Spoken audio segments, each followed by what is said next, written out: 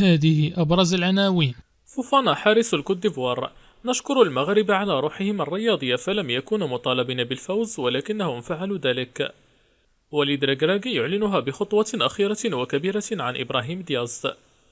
هل قرر مدرب المغرب استدعاء نجم الرجاء بعد كأس أمم أفريقيا؟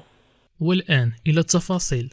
ولكن من قبل باش تكون أول واحد كيتوصل بجديد الأخبار العالمية والمغربية المرجو وضع زر إعجاب واشتراك وتفعيل الجرس. فوفانا حارس الكوت ديفوار نشكر المغرب على روحهم الرياضية فلم يكونوا مطالبين بالفوز ولكنهم فعلوا ذلك. بعدما سجل المنتخب الإيفواري عودة مثيرة في النسخة الحالية للكان. بعد أن كان قاب قوسين أو أدنى من مغادرة المسابقة قبل أن يتلقى هدية من المنتخب المغربي أعادته لأجواء التباري مطيحا بعدها بخصوم واحدا تلو الآخر لغاية تحقيق اللقب. وقال فوفانا حارس المنتخب الإيفواري في تصريحات لقناة بين سبورت الفرنسية نشكر المغاربة على روحهم الرياضية في مباراتهم الثالثة. لم يكونوا مطالبين بالفوز ولكنهم فعلوا ذلك. وتوج المنتخب الإيفواري بلقبه الثالث تاريخيا عقب انتصاره في النهائي على نظيره النيجيري بهدفين لواحد. في المباراة التي احتضنها ملعب الحسن وترى في أبيجون أمس الأحد. وليد رجراجي يعلنها بخطوة أخيرة وكبيرة عن إبراهيم دياز.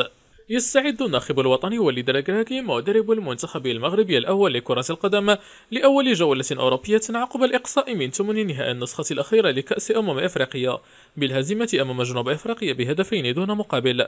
وذكر موقع سبورت أنه علم من مصدر مطلع أن وليد ركراكي سيقوم بجولة أوروبية في الأيام القليلة المقبلة بداية بالديار الإسبانية في محاولة قد تكون الأخيرة لإقناع إبراهيم دياز نجم ريال مدريد بتمثيل الألوان الوطنية على حساب الرخاء.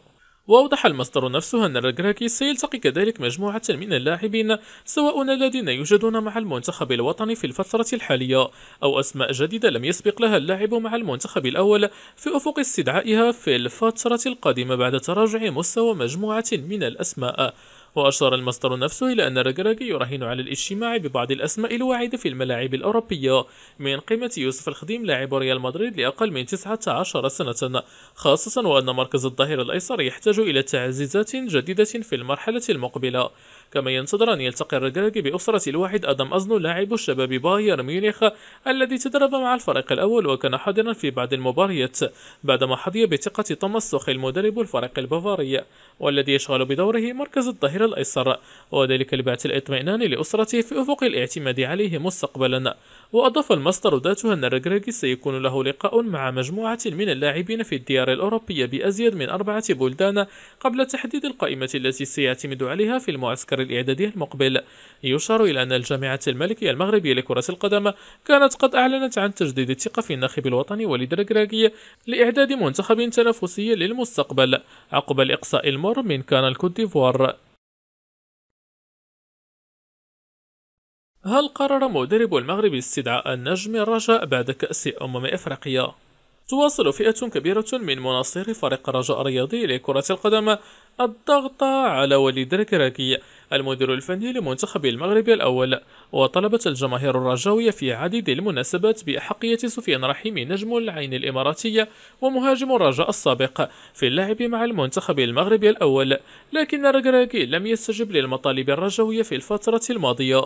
وتعلت الأصوات الرجوية المطالبة باستدعاء رحيمي قبل النسخة الأخيرة من نهائية كأس أمم أفريقيا التي احتضنتها الكوت ديفوار بسبب عدم جاهزية سفيان بوفال مهاجم الريان القطري لكن الركراكي فضل بوفال على رحيمي الذي يشغل نفس المركز. وأشارت بعض التقارير الإعلامية في الساعات الأخيرة إلى أن وليد رجراجي مدرب أسود الأطلس تواصل مع نجم الرجاء السابق ونادي العين حاليا لإخباره بأنه سيكون ضمن قائمة منتخب المغرب في فترة التوقف الدولي القادم في شهر مارس إن شاء الله. وذكر موقع وين وين أنه تواصل مع مصدر مسؤول مقارب من محيط المنتخب المغربي الأول لمعرفة صحة هذه الأخبار لينفي هذا الأمر جملة وتفصيلا.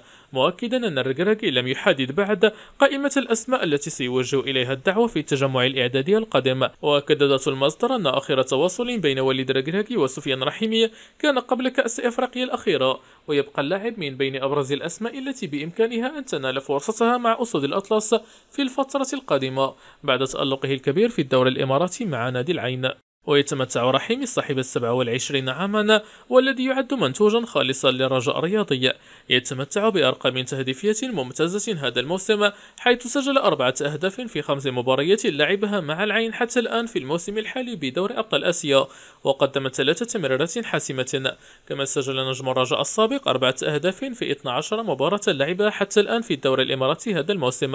وقدم أربع تمريرات حاسمة وهي أرقام تؤكد التألق الكبير للنجم المغربي سفيان رحيمي الذي كان ضمن القائمة الموسعة لمنتخب المغرب قبل كأس أفريقيا قبل أن يقرر وليد رجراجي إبعاده عن النهائيات.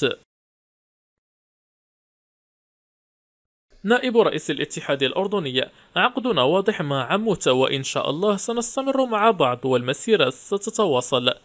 حسم الاتحاد الأردني لكرة القدم مستقبل الإطار الوطني الحسين عموتة مع منتخب النشمة. وقال نائب رئيس الاتحاد الأردني لكرة القدم علي مروان جمعة في مقابلة مع قناة المملكة.